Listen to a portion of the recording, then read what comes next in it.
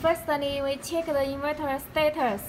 To do the, the pump is which the phase. Now it's AC output three phase. So now we now if pump is single phase, so we need to select the single phase on the menu.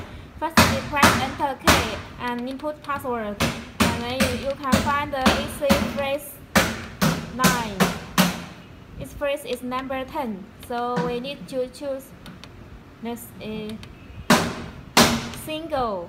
We, we choose single.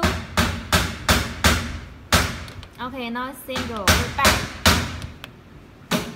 So now we need to switch off the, the breaker. And the, the stem stack. Now we switch on.